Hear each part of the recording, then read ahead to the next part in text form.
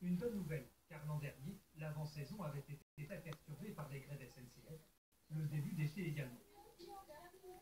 L'année dernière, le mois de juillet avait été un petit peu compliqué, je pense que c'était aussi l'été de mais après un très bon mois d'août et un super mois de septembre, parce qu'on a eu la chance d'avoir un très bon mois de septembre. L'activité de ce printemps 2019 est donc une bonne nouvelle pour les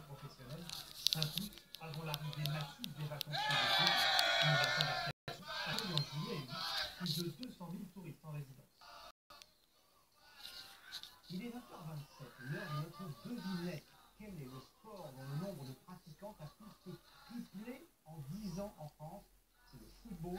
Le de filles et des jeunes femmes pour le ballon rond est sans précédent. La Coupe du monde de football féminin, organisée chez nous en France à partir du 7 juin, devrait encore accélérer le phénomène. Jean-Marie Bagayoko et Stéphane